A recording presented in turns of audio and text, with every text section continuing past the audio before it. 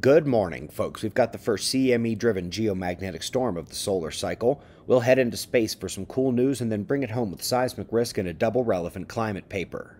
But we're starting with our star at spaceweathernews.com. Finding the last day on the sun was quiet in terms of its activity. Coronal holes gliding across the south, active regions on the north, really neither developing or decaying.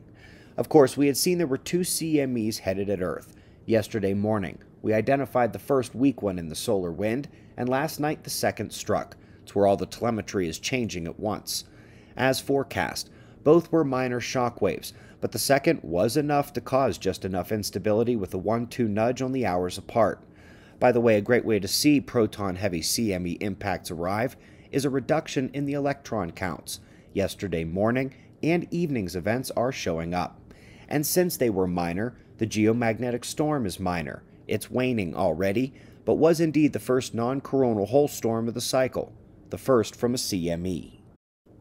Folks, the big science story in the rest of the world yesterday was the alleged refinement of the black hole image in M87.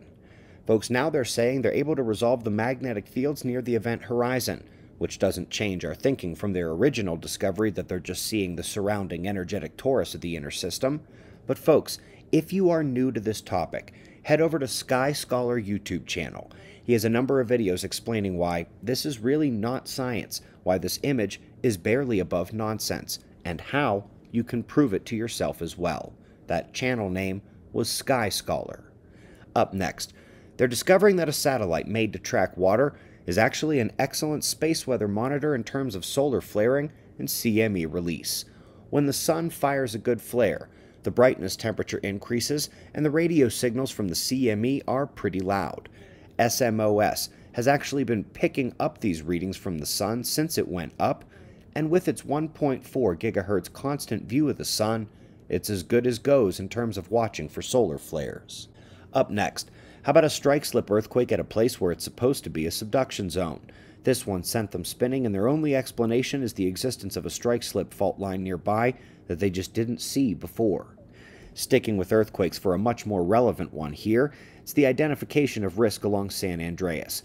The loading suggests a thrust of 6 to 9 meters is possible, which would utterly devastate California, and they even identify which areas are likely to release the biggest quakes when they rupture. A must read for locals. My initial reaction to this was, What do you mean, a new type of basalt? Folks, I don't think I love their explanation of supervolcanoes erupting underwater. They're missing something, and there aren't enough clues in the paper to piece the puzzle together. They are still shocked by our planet, and every one of these new discoveries takes their story of certainty of how we got to the Earth we see today and calls it into question. Now, last but not least, it was not long ago we heard that Greenland must have been ice free at some time in the last million years. Two weeks later, cut it in half at least.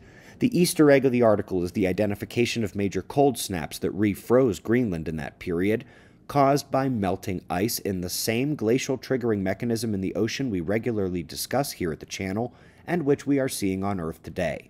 But of course, the more important aspect of this is that in just a couple of weeks we have watched all the super old Greenland ice papers get debunked, and now we'll have to cut that in half again here today. Folks, they will reduce that age even more, such is the fate of the isotope dating fiasco on Earth. Baby steps. We greatly appreciate your support. We've got wind maps and shots of our star to close. Subscribe and we'll do this all again tomorrow. Right here, but right now it's 5:30 a.m. in the new Valley of the Sun. Eyes open. No fear. Be safe, everyone.